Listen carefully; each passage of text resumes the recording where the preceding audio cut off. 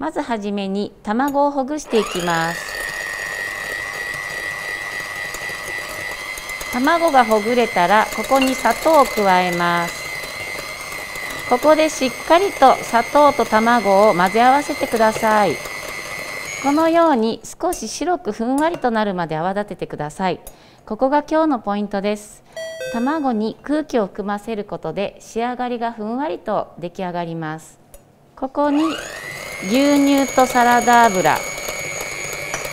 そしてホットケーキミックスを加えていきます。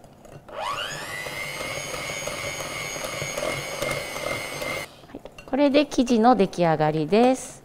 粉気がないようにゴムベラで全体を混ぜ合わせてください。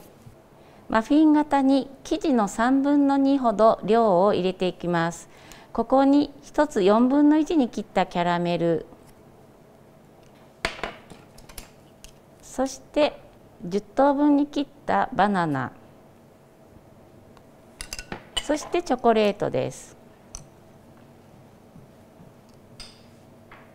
このようにキャラメルバナナチョコを入れたら上から残りの生地を流していきます。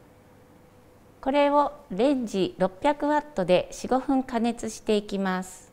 加熱が終わったのでこのまま冷ましてください。冷めたのでホイップクリームを絞っていきます。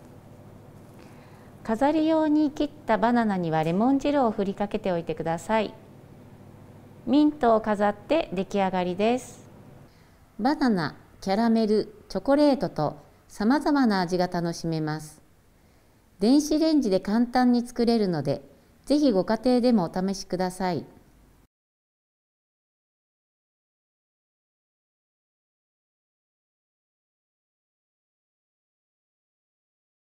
まずはじめに耐熱ボウルに牛乳と砂糖を入れてよく混ぜます。ざらつきがなくなってきたらここにふんわりとラップをかけて600ワットで2分加熱していきます。加熱が終わったのでここにふやかしたゼラチンを加えていきます。インスタントゼラチンを使う場合はふやかさず加えてください。ここでゼラチンをしっかりと溶かしていきます。続いて生クリームです。生クリームは軽く泡立ててください。今日はムースではないので少しだけとろりとするくらいで大丈夫です。このように少し筋が見えてくる程度でいいです。ちょっととろっとしました。続いていちごです。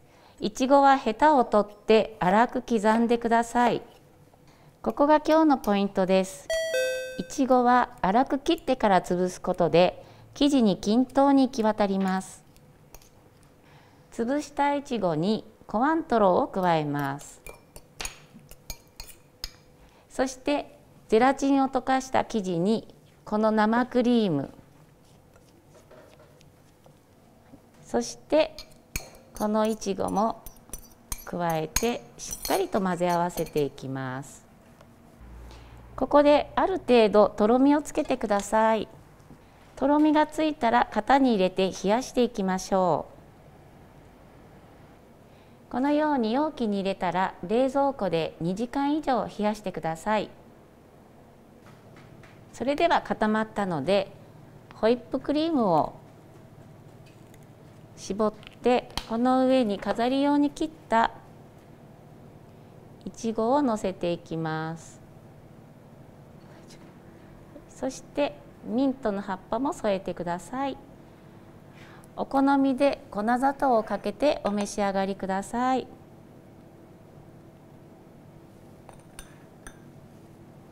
今が旬のいちごをたっぷり使ったいちごプリンです。いちごの味が濃厚で口どけが滑らかなミルクプリンをぜひお楽しみください。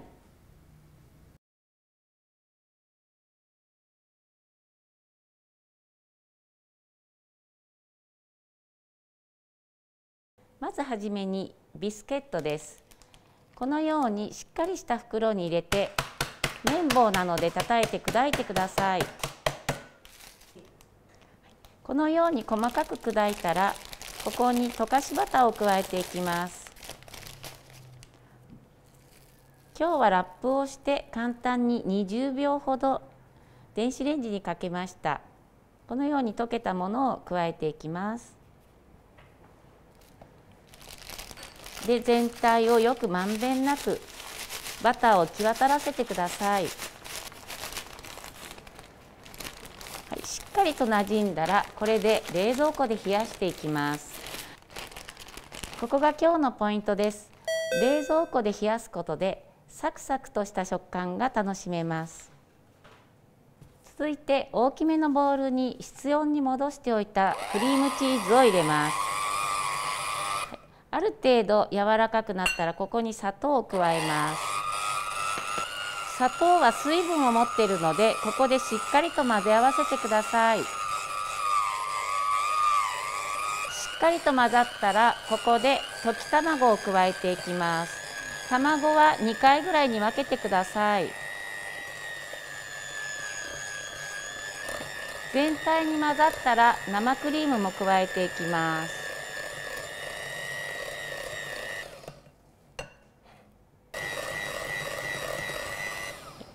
かりと混ざったらここに薄力粉をふるい入れていきます。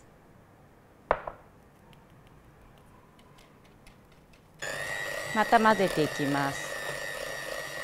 粉っ気がなくなったら